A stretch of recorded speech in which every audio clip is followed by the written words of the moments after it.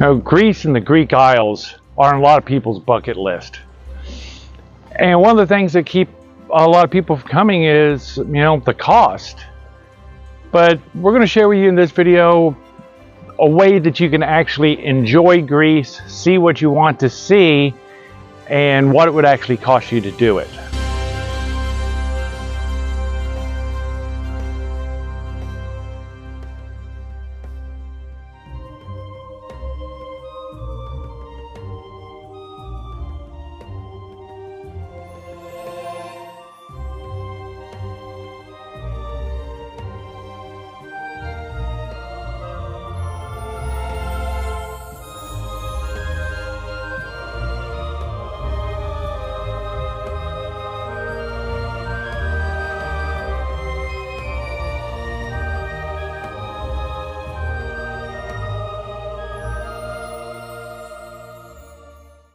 It's no secret to those that know me that Greece is my favorite country in the world to visit.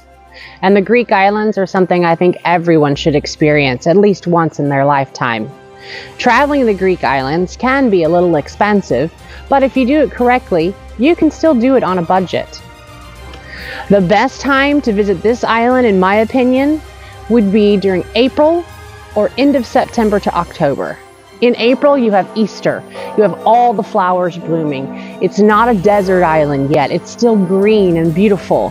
However, most of the tourists have not arrived. So you still have out of season prices for Airbnbs, for hotels, for rooms to let. You also have restaurants that are open that are not catering to the tourist and basically trying to make as much money as they can during the season. We're on the island of Milos. We've been here for two months. We have one month left to go, and we're house sitting. That for us is a way for us to travel around the world uh, on the budget that we have. We use trusted house sitters. We'll leave a link for that in the description. Check that out. That's how we got this one here. And honestly, it was not difficult.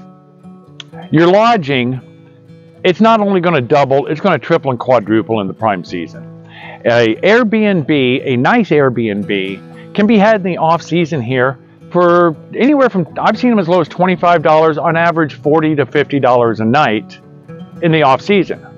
Prime season, those exact same places start at 250 and go up from there. Consider visiting a Cafe Neon or a Taberna or even just a little coffee shop. You'll find delicious food anywhere you go. Okay, so we've come up to Plaka and we're gonna hit our favorite spot for lunch today. Uh, it's uh, Taberna, that's what they call it? The Cafe Neon. Cafe Neon. So, don't really have a real menu.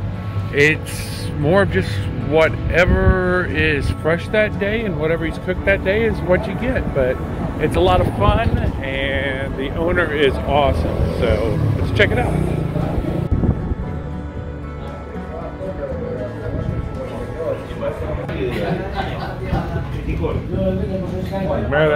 Hello!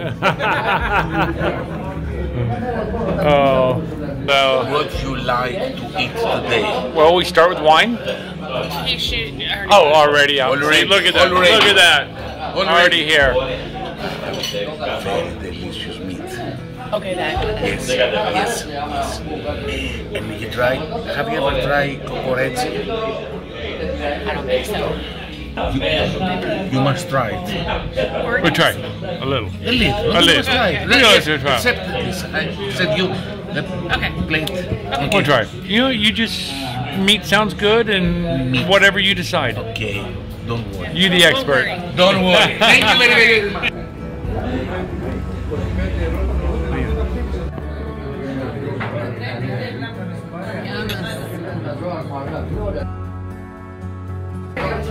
Careful.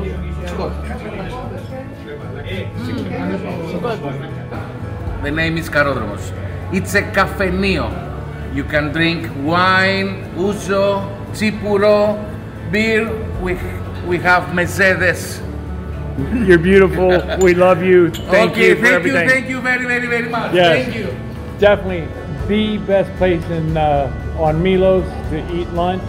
You won't be disappointed. Also, if you don't mind cooking for yourself, Get an Airbnb. Food prices here are incredibly affordable. For two people, $100 a week can feed you quite well, including some wine. Food. Oh my. The meats here. I've never tasted beef and pork uh, anywhere near what I got here. The vegetables, wow. I had forgotten what a real tomato tasted like until I had a Milos tomato. Getting to and from the island, you've got a couple of options. Well, you can private boat, and if that's how you're getting to the island, well, you don't really need to watch this video. But since you're here, go ahead and hit that subscribe button. We'd appreciate it. The other ones are the ferries and flying. Now, if you've got a limited amount of time to do the islands and see what you really want to see here, grab the flight. It's roughly about the same as using the ferry to get here.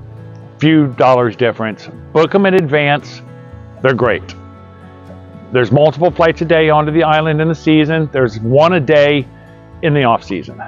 Same with the ferries. There's one a day in the off season, multiple in the busy season. In the busy season, those ticket prices double. So what's a $40 ride in the winter is a $90 ride in the summer. To get around this island, you either need to rent a car or a quad or use the local, local bus system. It does have several stops at pretty much everywhere you'd want to see. Most of the beautiful beaches here have a bus stop right next to them.